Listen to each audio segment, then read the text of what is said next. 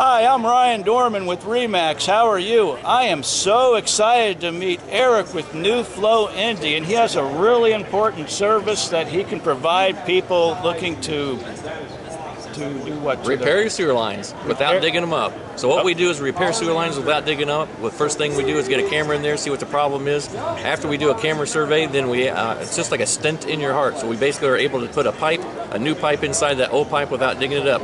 Here's an example of what that looks like. So here's an old cast uh, clay tile there that we have, and here's our new pipe right there. We can actually put this brand new pipe in there without digging it up. If you Wow. look up here on our sign, I'd like to kind of show you our step one, two, three. We clean it, we line it, and then we sit there and renew it. So we have the new pipe inside that old pipe without digging it up.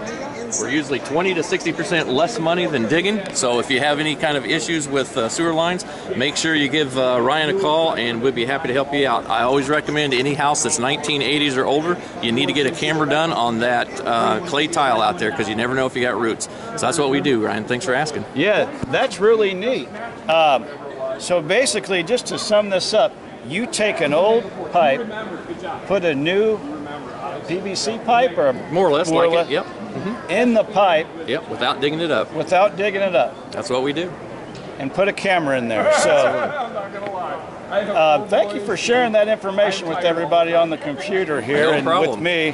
Look and forward uh, to helping anybody out that has any issues. And how do they find out about your company? Where do they? Nuflowindy.com. We have a great website. It has a demonstration video on that. So nuflowindy.com. That's N U F L O W I N D Y.com. Nuflowindy.com. And then, yeah, schedule a quote or a consultation with Eric, and uh, we'll uh, thank you for watching, and uh, we'll have a good day. Thank you. you for sharing that. Thank Bye. you.